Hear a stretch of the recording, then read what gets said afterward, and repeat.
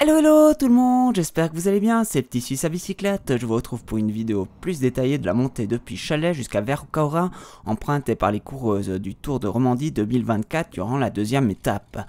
Et nous allons tout de suite être dans le cœur du sujet, nous tournons devant l'église de Chalet pour entamer cette montée de 10 km avec déjà du 9%. Dans l'ensemble de cette montée, la pente est plutôt régulière, avec du 8 à 10%, mais nous aurons aussi des passages à 3 et à 5%, ainsi qu'un petit passage à 15% très court sur toute la montée, cela ne représente pas grand-chose. Après avoir entamé ces premiers mètres difficiles, un replat va suivre avec un passage qui varie entre 5 et 7%.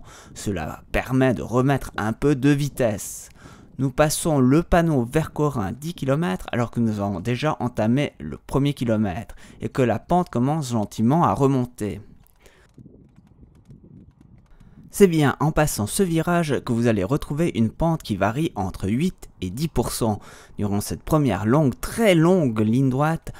Si difficile, si vous n'avez pas de bonnes jambes, vous allez très vite le sentir et cela risque d'être un long calvaire. C'est pourquoi il vaut mieux rouler avec un peu de retenue dans ce début de montée. Les coureuses du Tour de Romandie effectueront sans, aucun doute la montée sur un bon rythme. L'avantage d'effectuer la montée le matin vous permet d'être à l'ombre, ce qui est plutôt agréable. Les coureuses du Tour de Romandie n'auront pas cette chance si le beau temps est de la partie, le soleil peut frapper fort durant cette première partie de montée. Nous arrivons au bout de cette longue ligne droite, il vaut mieux avoir gardé des forces car si cette première partie est déjà difficile, la suite va être encore plus dure. Je vous rassure, ce n'est pas encore pour tout de suite, il reste encore une bonne ligne droite, plus courte cette fois, mais dans le même calibre que celle que nous venons de terminer.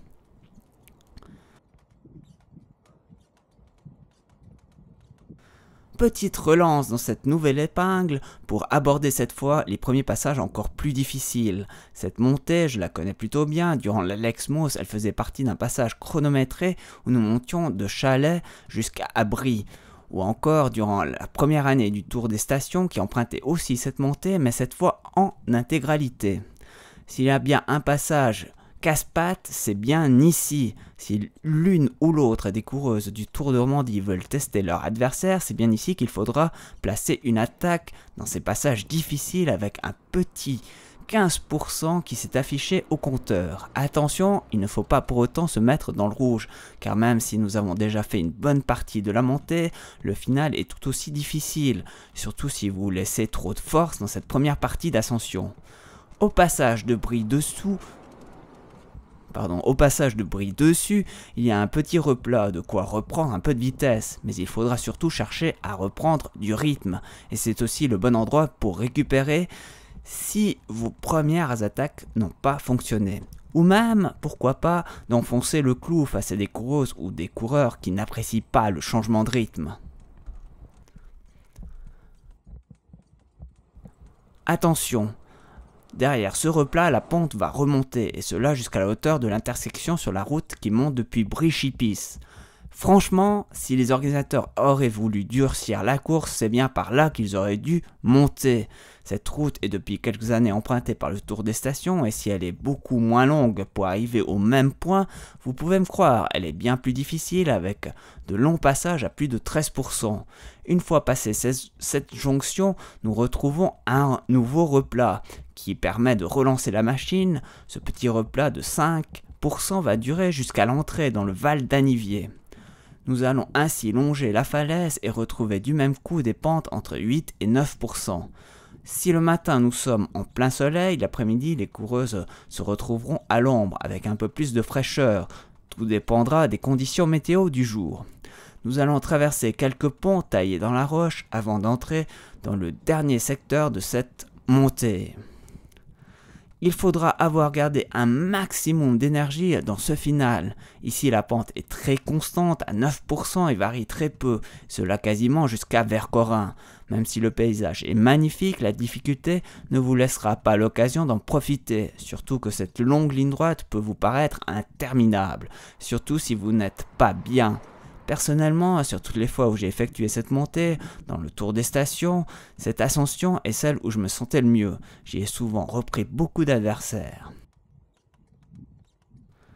Il reste quelques kilomètres encore, une courbe à gauche, un petit bout de ligne droite, puis une épingle à droite qui vous permet de vous relancer dans la dernière partie difficile où il ne faut pas se montrer trop euphorique, même si vous sentez la fin se rapprocher. Dans cette avant-dernière ligne droite, vous aurez un beau point de vue sur la partie inférieure de la course. Ainsi, vous pourrez juger des écarts. Faut-il encore être devant? Avec toujours du 9%, il ne faut pas baisser le rythme. Si vous n'êtes pas seul, il vaut mieux tenir la roue et surtout ne rien lâcher car l'arrivée est toute proche. Les coureuses du Tour de Romandie tourneront sur la gauche pour aller chercher l'arrivée sur un faux plat montant où il est possible de remettre de la vitesse et du braquet pour passer la ligne d'arrivée vers le départ des télécabines de Vercorin. Si cela arrive en petit comité, autant dire qu'il faut avoir gardé assez de force pour gagner le sprint et ne pas lancer trop tôt ou trop tard, car tout dépendra où sera exactement placée la ligne d'arrivée. Moi, je vous remercie de m'avoir suivi et je vous dis à tout bientôt pour une nouvelle vidéo vélo. D'ici là, portez-vous bien, roulez bien, salut, bye bye